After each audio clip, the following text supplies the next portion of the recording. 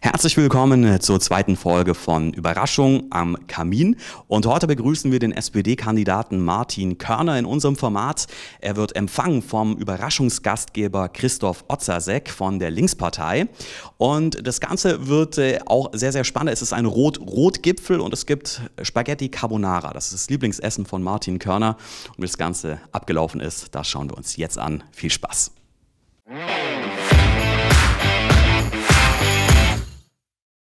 Hallo, Herr Körner. Martin Körner tritt an zur OB-Wahl 2020 und äh, ist heute auch bei unserem Überraschungsbesuch hier. Sie wissen nicht, was jetzt passiert, ne? Nein, ich weiß gar nichts, außer dass es einen Überraschungsgast gibt und bin wahnsinnig gespannt darauf. Hallo lieber Christoph. Lieber Martin, herzlich willkommen in meiner Lounge, äh, in meinem lauschigen Kaminzimmer. Danke sehr. Schön, dass du heute da bist. Danke. Wir zwei haben ein Date. Sehr gut. Und zwar bist du heute zum Mittagessen geladen. Super. Du darfst hier Platz nehmen am Lagerfeuer. Das finde ich schon mal sehr gut. Da natürlich, Das wo das Mikro steht. Äh, Danke. damit kennst du dich, glaube ich, aus. Was, mit dem Mikro oder mit dem Mittagessen? Engagierter Wahlkämpfer mit dem Mikro so, natürlich. okay. Ja. Und zwar haben wir heute etwas sehr Feines für dich vorbereitet. Und zwar deine Lieblingsspeise, Spaghetti Ja, Carbonara. aber ob die jetzt halt so gut sind, wie ich die zu Hause mache. Ah, willst du die Wird Küche, sich jetzt willst du hier die Küche kritisieren? Ja, fühl dich herzlich willkommen. Jawohl. Ich habe dich, ich hab dich hier am Lagerfeuer platziert. Das Ja. heißt, äh, du sollst dich wohlfühlen. Ja. Gleichzeitig wirst du aber auch ein bisschen gegrillt von mir heute. Ja, ist klar. Ich, denk, das, Dann, darf ich meinen Sack rausziehen, Christoph? Weil wenn ich gegrillt werde, ich dachte, die Frage kommt jetzt erst in zehn Minuten, aber ich wollte eigentlich lockerer einsteigen mit dir. Aber Okay. gut. Äh, Wie fühlst du dich? Du, ich fühle mich eigentlich ganz gut. Also zum einen bin ich schon mal positiv überrascht, dass ich was zu essen kriege. Nein, außerdem freue ich mich, dich zu sehen. Ja, gleichfalls. Das war ja jetzt schon ein bisschen die Frage, wer kommt da jetzt? Richtig, genau. Und das, das Ja. war jetzt erstmal eine schöne Überraschung. Es, es soll ja auch ein bisschen so ein Antagonist sein, der hier sitzt, äh, wobei ich das habe ich schon verstanden. dass, dass wir zwei ganz viel auch gemeinsam haben und äh, viele gemeinsame Projekte auf den Weg gebracht haben die letzten sechs Jahre. So ist es. Wir kennen uns jetzt sechs Jahre im Gemeinderat zusammen, in zweiter Amtsperiode, zum Wohl. Ja.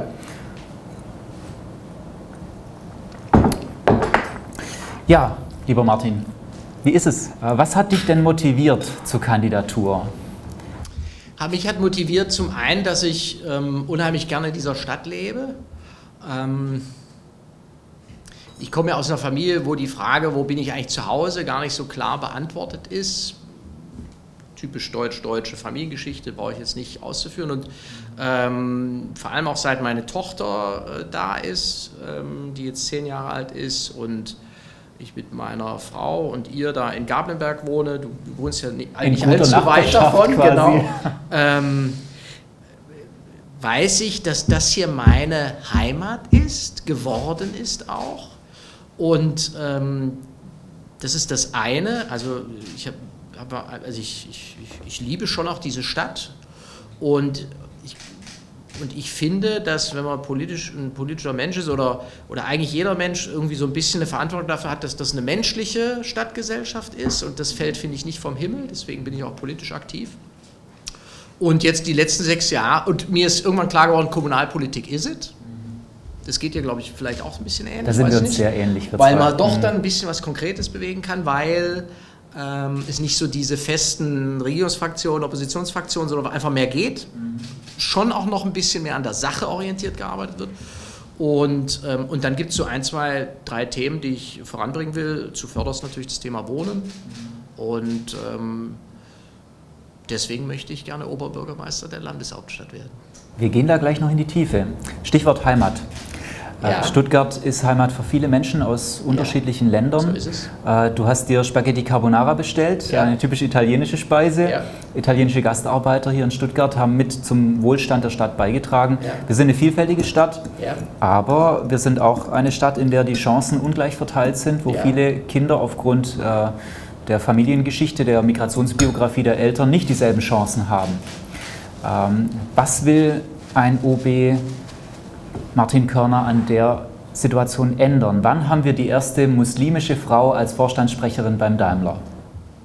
Ja, also den Posten kann ich natürlich als Oberbürgermeister jetzt leider nicht vergeben, aber ähm, ich finde, ein Oberbürgermeister kann da sehr viel tun. Also ähm, wir haben ja Schulen über das ganze Stadtgebiet verteilt und ich finde schon, dass es Schulen gibt, die da, also alle Schulen und alle Lehrerinnen und Lehrer, die da aktiv sind, leisten da Großartiges, aber es gibt natürlich schon Quartiere, ähm, wo die Kinder zu Hause nicht fünf Meter Bücherregal haben äh, wo die zu Hause nicht so unterstützt werden können. Das hast du ja jetzt auch so ein bisschen beschrieben. Und ich glaube, dass gerade diese Schulen sozusagen äh, das Beste bieten müssen, was wir so bieten können als Stadt. Das geht bei den Räumlichkeiten los, dass die gut aussehen, dass äh, da modernste Medien da sind, großes Thema ähm, dass es da eine Mensa gibt, dass es da tolle Außenanlagen gibt. Das hebt nämlich unheimlich schon mal das äh, Bewusstsein, wenn das eine runtergekommene Schule ist, wo die Toiletten kaputt sind, das ist dann auch eine Botschaft, gerade an diese Kinder.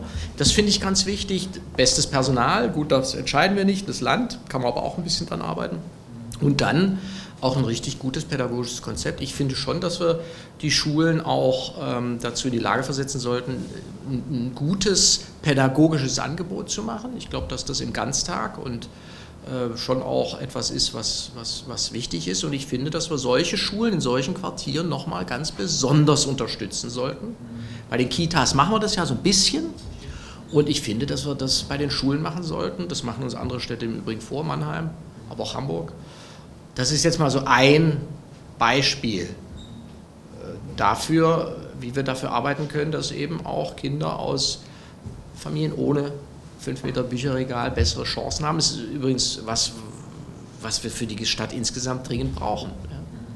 Was machst du anders, wenn du OB werden solltest? Naja gut, jetzt muss man natürlich der Ehrlichkeit halber sagen, dass die finanzielle Situation, ich würde mal sagen, so bis vielleicht 2010 oder so, auch äh, nicht immer nur einfach war in der Stadt. Ähm, und das hat das dann nochmal verstärkt, dass diese Sachen vernachlässigt worden sind. Ich würde sagen, man tritt den Kollegen nicht zu nahe, wenn man sagt, es hatte auch was mit den politischen Mehrheiten zu tun, würde ich schon behaupten. 2009, wo es noch andere politische Mehrheiten gab, hat sich das dann auch geändert. Es gab deutlich mehr Geld für die Schulsanierung. Ähm, also, und heute ist das Geld ja eigentlich nicht so das Problem, sondern wir haben ähm, sehr, sehr viel Geld zur Verfügung. Es liegt auf dem Festgeldkonto weit über 200 Millionen allein für die Schulsanierung. 300 wir, Millionen Euro Jahresüberschuss aus dem letzten Jahr. So, kommt noch dazu. Und ähm, was wir haben, ist ein Umsetzungsproblem. Und da spielt Personal eine Rolle. Ich glaube, wir haben zu spät umgesteuert bei der, bei der Personalausstattung im Hochbeamt, im Schulverwaltungsamt. Ähm, wir haben jetzt zweimal ganz schön was äh, getan an der Stelle, aber die Leute müssen jetzt auch erstmal gefunden werden, die Stellen müssen besetzt werden, die müssen eingelernt werden, das dauert also alles furchtbar lang. Und ich glaube schon, dass auch bei den Organisationsstrukturen, wie wir diese Schulsanierung organisieren, manches besser äh, laufen kann. Am Geld liegt es auf jeden Fall nicht. Wir müssen attraktiv sein als Arbeitgeber, damit wir genug gute Leute finden.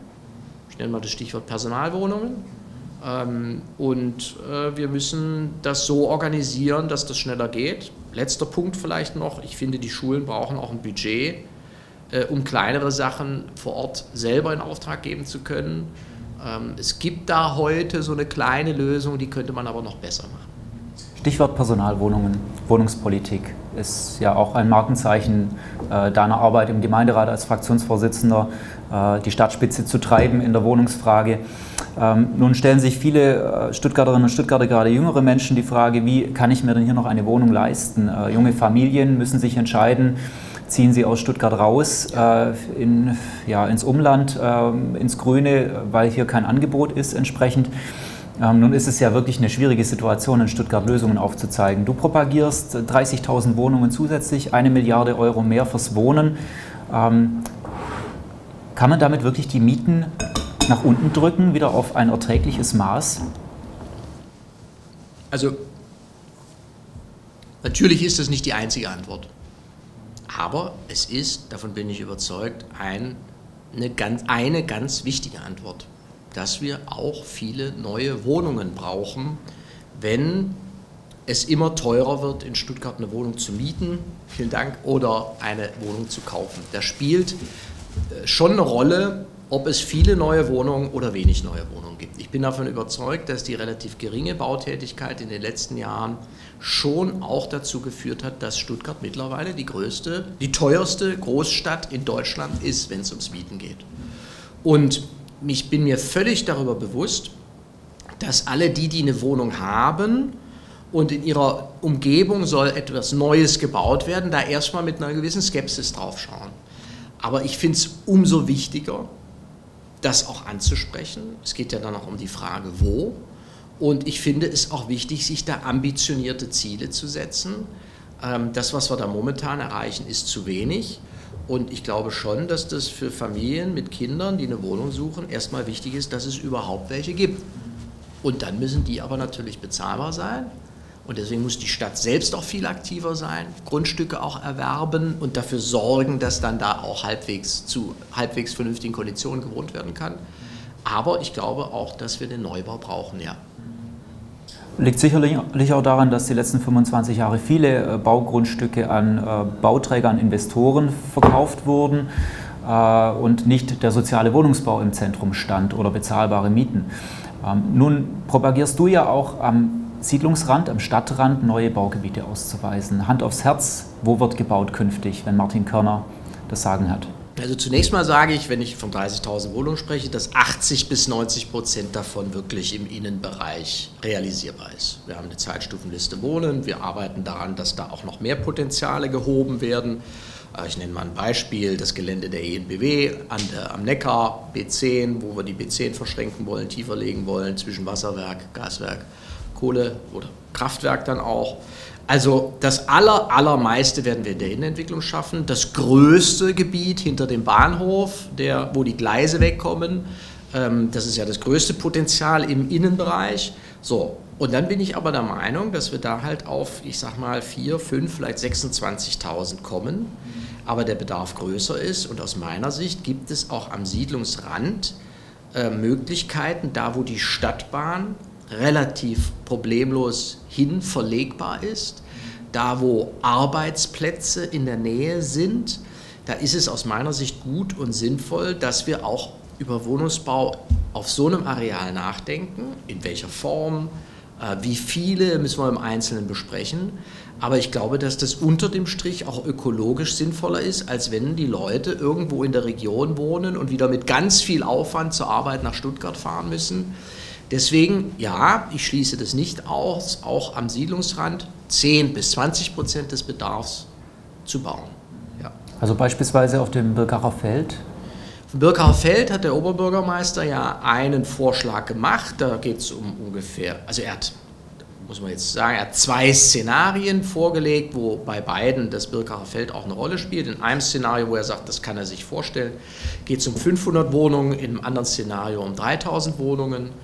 Es gibt eine lokale Initiative vor Ort, die sagt, man könnte noch einen Asemwaldblock bauen mit ungefähr 1000 Wohnungen. Ähm, da sind also verschiedene Modelle auf dem Tisch.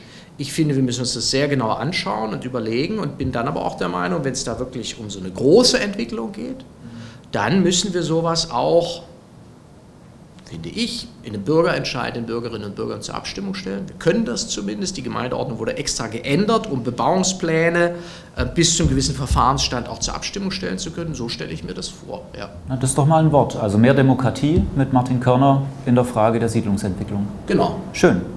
Äh, nun öffnet sich aber auch ein ökologischer Konflikt. Du hast es gerade ja. auch angedeutet. Ja. Äh, fruchtbare Böden zu bebauen, Ackerland, äh, Grünland hat ökologische ja. Konsequenzen für den Hochwasserschutz, für die Ernährung, äh, fürs lokale Klima. Vor allem Stuttgart hat ein Klimaproblem, ein stadtklimatisches Problem.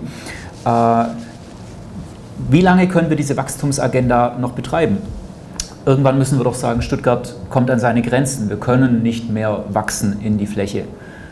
Naja, es geht natürlich um, nicht um Wachstum um jeden Preis, sondern es geht schon auch um qualitätvolles Wachstum.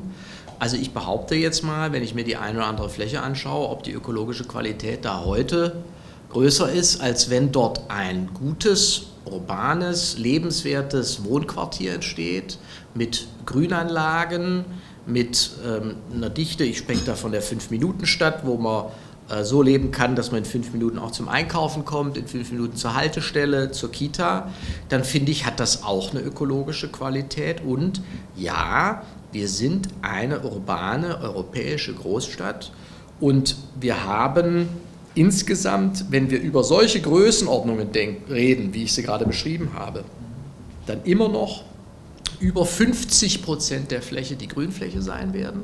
Und natürlich können wir jetzt nicht mitten in der Frischluftschneise bauen. Das stimmt, darauf muss man achten.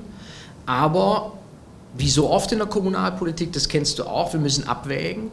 Und ich finde, dass die sozialen Folgen einer zu restriktiven Wohnungsbautätigkeit schon gravierend sind und dass wir da was tun müssen. Mhm. Gut, das ist ein Wort. Martin, ich treffe dich häufig morgens auf dem Fahrrad an. Da fahren ja. wir zusammen in, äh, ja. ins Rathaus und ja. sitzen im Ausschuss und streiten auch um Fahrradpolitik. ähm, der Ratentscheid in Stuttgart, da haben 35.000 Menschen unterschrieben und gesagt, wir wollen endlich die Bremsen lösen beim Thema Radpolitik. Da muss jetzt endlich was passieren. Wir brauchen bessere Qualität.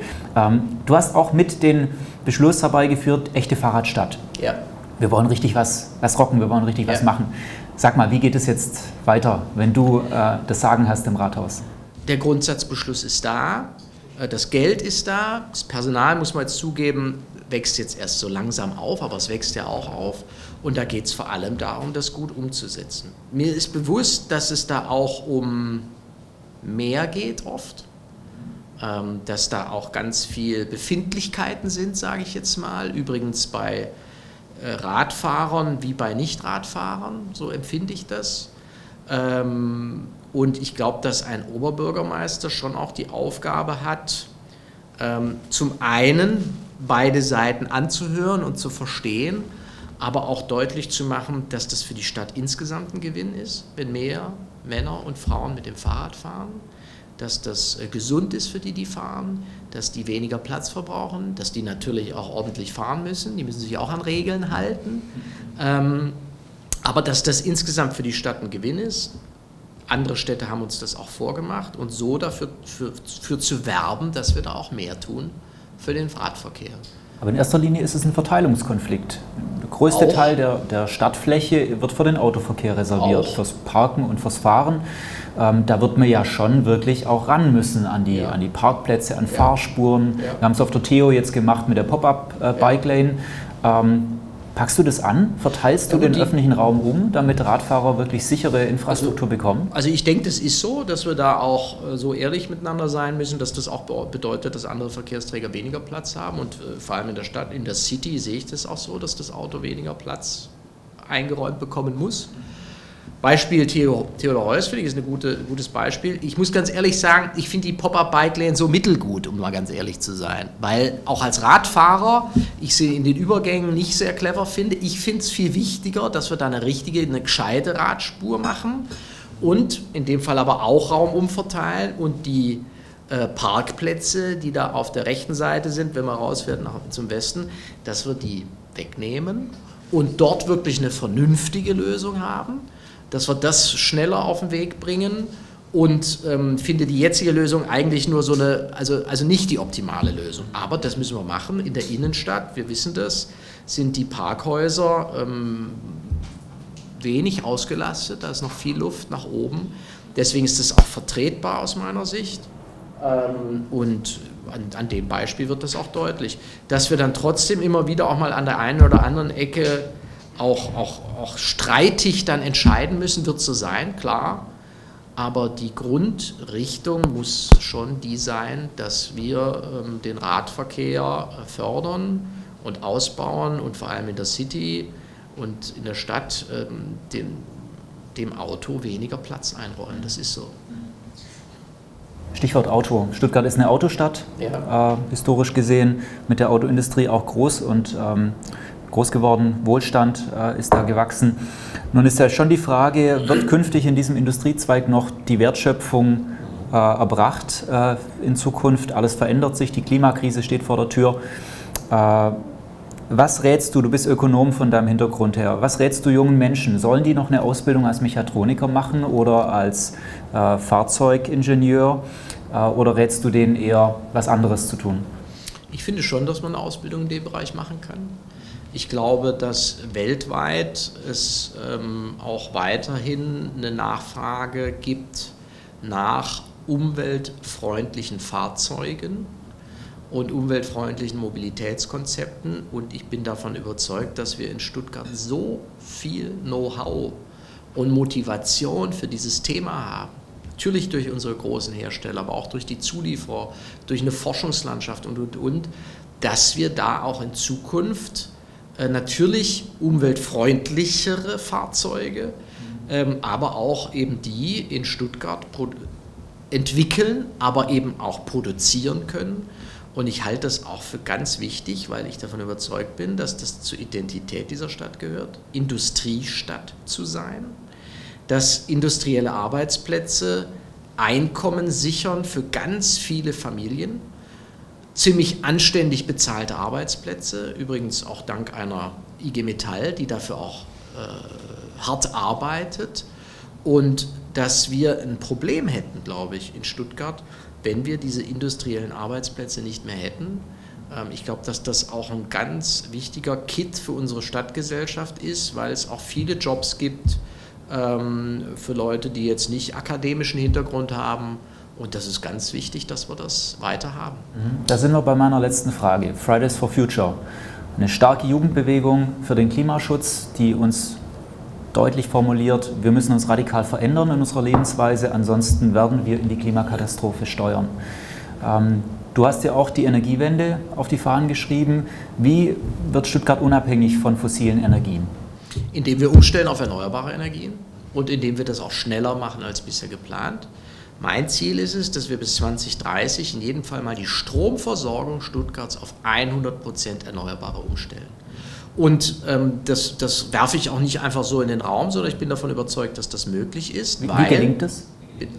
Erstmal müssen wir, müssen wir dafür ja investieren. Wir müssen ja Geld in die Hand nehmen, um ähm, aus Sonnenenergie Strom zu machen, um aus Windenergie Strom zu machen, aus vielen anderen Energiequellen. Und da müssen wir investieren. Und wir haben bei der stadteigenen Holding 400 bis 500 Millionen Euro in Aktien und Rentenpapieren investiert heute. Und ich bin davon überzeugt, dass das eben nicht der Job einer Stadt ist, in so etwas zu investieren, sondern ich möchte diese Gelder in den nächsten zehn Jahren Schritt für Schritt, natürlich muss das ein Investitionsplan sein, umschichten in solche Investitionen, um die Stromversorgung auf 100 Prozent erneuerbar umzustellen. Übrigens die Wärmeversorgung auch. Da sage ich nur, das wird schwer bis 2030 100 Prozent zu erreichen, aber das müssen wir auch angehen. Für das Klima ist die Energiefrage die entscheidende Frage, davon bin ich überzeugt, und versuche mit dieser Finanzierung auch einen Weg aufzuzeigen, wie wir das machen. Und das Schöne ist ja, das sind ja durchaus Investitionen, die sich mindestens mal langfristig auch rechnen. Also das ist auch finanzwirtschaftlich klug und ökologisch auch. Und ich finde, dass wir in dem Bereich im Vergleich zu anderen Städten noch wesentlich besser werden können. Vielen Dank, lieber Martin, dass du mein Gast warst heute hier. Danke, Christoph. Auch im Namen von Stuggi TV, okay. wo ich als Aushilfsmoderator arbeite. Und ich dachte, es geht richtig hart zur Sache, Christoph. Ich dachte immer, du jetzt, jetzt kommt aber der Angriff. Das machen wir im Ausschuss im nächsten. Okay, gut. Hat mich sehr gefreut. Mich und äh, dann machen wir jetzt hier einen Cut. Und okay. Bedanke mich. Noch aufessen. Es war eine positive Überraschung. Ähm, und, und, und, ich habe mich gefreut, Christoph Ozasek zu sehen. Und, und, war gespannt, ehrlich gesagt, dann auch auf die Diskussion, auf die Fragen. Ähm, und, und fand das Gespräch jetzt aber sehr gut.